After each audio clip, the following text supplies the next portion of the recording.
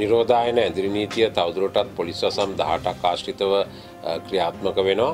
ඉති විශේෂෙන්ම අප ඉල්ලා සිටිනවා ඒ ප්‍රදේශ ජනතාවගෙන් සංචරණය සම්පූර්ණයෙන්ම සීමා කරලා නිවෙස්වලට වී රැඳී සිටින හැටියට අද උදෑසන හයින් අවසන් වූ කාලය තුළ පුද්ගලයින් හැත්ත නම දෙනෙක් අත්අඩංගුවටගෙන තිබෙනවා නිරෝධායන ඇදිරි නීතිය කඩකිරීම සම්බන්ධයෙන් මීට අමතරව යතුරු පැදි දහටක් සහ එක් ත්‍රීරෝධ රථයක් පොලිස් භාරයටගෙන තිබෙනවා.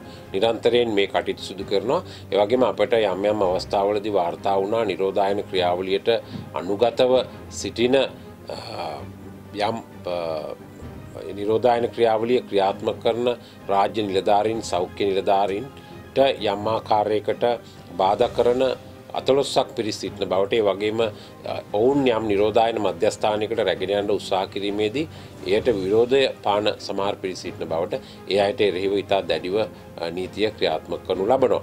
කෙසේ වෙතත් මේ ප්‍රදේශ ඇදිරි නීතිය ක්‍රියාත්මක වන ප්‍රදේශ හරහා යාමට ඕනෑම කෙනෙකුට අවස්ථාව තියෙනවා.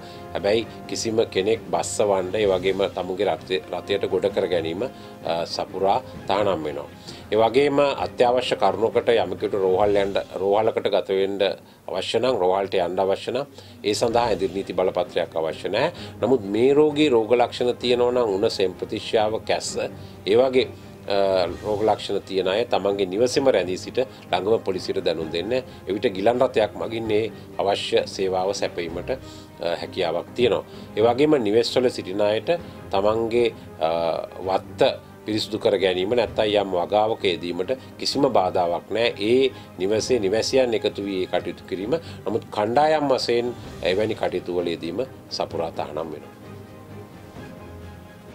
breaking.lk